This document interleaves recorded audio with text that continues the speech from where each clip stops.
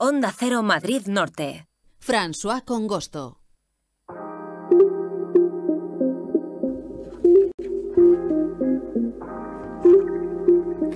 12 y 41 minutos de la tarde. Esta semana el gobierno de Alcobendas del Partido Popular lleva a pleno municipal su presupuesto municipal para 2024. Ya saben, esa previsión en cuanto a ingresos y gastos.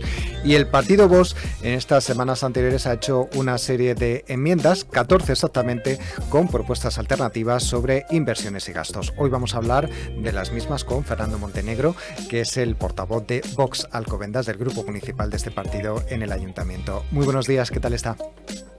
Buenos días, Fran, y buenos días a todos los que nos oyen. Bueno, quedan ya prácticamente tres días ¿no? para ese pleno municipal. Ustedes ya, digamos, han anunciado cuáles son las enmiendas, las propuestas alternativas que, han hecho. ¿Por dónde podríamos comenzar dentro de esas enmiendas? Bueno, yo empezaría por decir que lo que nos ha sorprendido es que este presupuesto, eh, bueno, cuando alguien llega al gobierno, como ha llegado el Partido Popular, eh, en, este, eh, en este año se espera que llegue con ganas, con ilusión, para hacer realmente cambios y llevar adelante reformas que esta ciudad necesita. Y sin embargo, este presupuesto nos ha parecido con muy poca eh, con muy poca ambición, con mucha falta de ambición. Por dos razones. Las primeras, y luego ya nos metemos en esa enmienda. La primera es que sigue siendo un presupuesto incrementalista y no en base cero. Para el que no esté familiarizado, esto quiere decir que incrementalista es cuando se cogen los ingresos y gastos de años anteriores y se suman o restan según eh, la idea política de cada uno, lo cual evidentemente lo que hace es que eh, repite errores del pasado, ¿no? Y en base cero, lógicamente es mucho mucho más eh, eh, complicado, más laborioso, porque lo que hay que hacer es olvidarse de lo que ha pasado antes y coger las necesidades de cada área, de cada espacio, de cada lugar de nuestro municipio y empezar desde cero a fabricarlas para el año siguiente. Eso tiene una gran ventaja que es que no se repiten errores del pasado y realmente se busca la actualidad y lo que realmente se necesita en nuestra ciudad. Y la dificultad es que es mucho más laborioso. Yo entiendo que los políticos habituales de los grandes partidos pues esto no se lo plantean. Pero en fin, esperemos que en algún momento lo consigamos. Y la segunda parte de esa falta de ambición es lo que reflejamos en nuestras enmiendas que hay que hacer muchas reformas en esta ciudad, reformas de calado, que le cambien la cara, que realmente sean importantes y eso no se está teniendo en cuenta en el presupuesto. Bueno, pues dicho esto y habiendo un poco comentado qué les parece este presupuesto municipal, este borrador, vamos a hablar de esas enmiendas.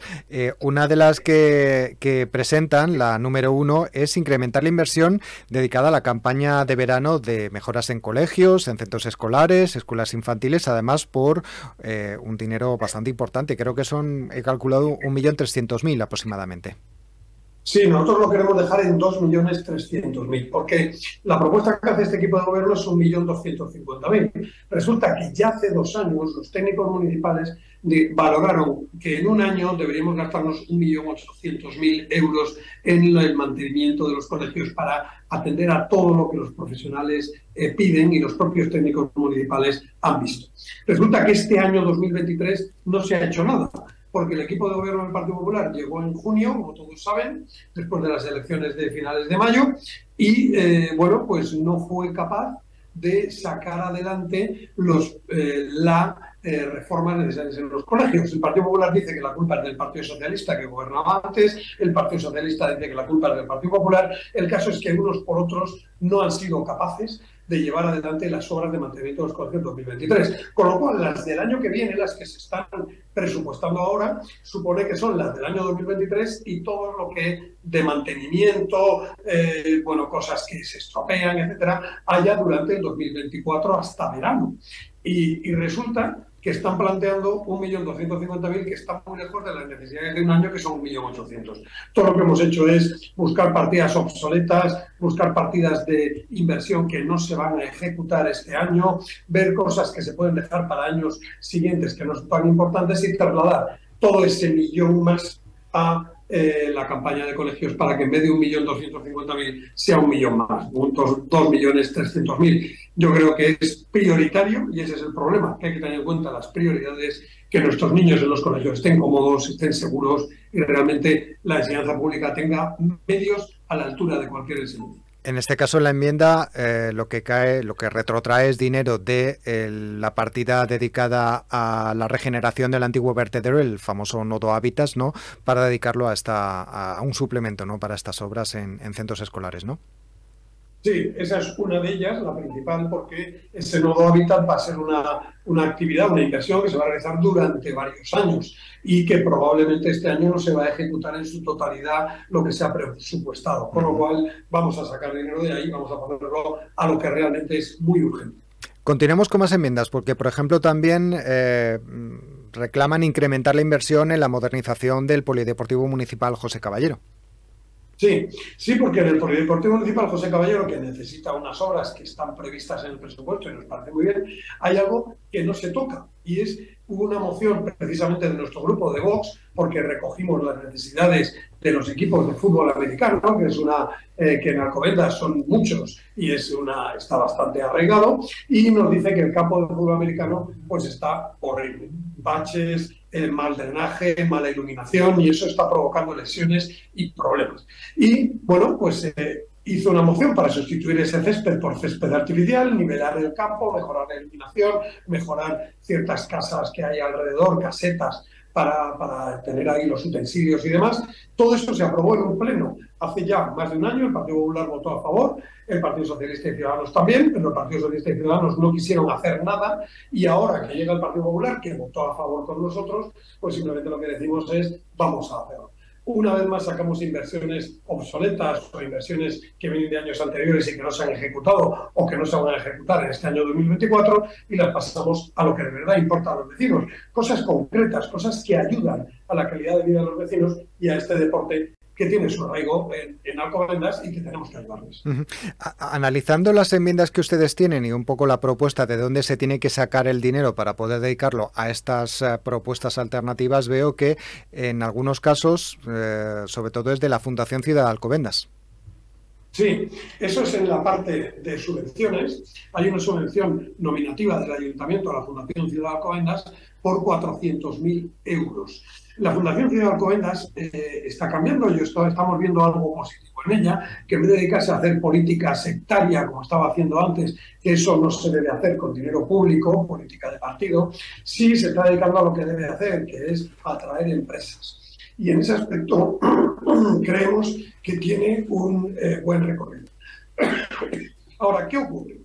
Que ya nos abstuvimos en su plan eh, anual, porque dice que van a conseguir 50.000 euros por ellos mismos de empresas, de donaciones de empresas para mejorar la ciudad, y resulta que en el último cuatrimestre de este año ya han conseguido 50.000. Nosotros entendemos que si han conseguido en cuatro meses 50.000, el año que viene pueden conseguir 200.000, sobre todo porque han incrementado el personal y han incrementado el gasto en personal.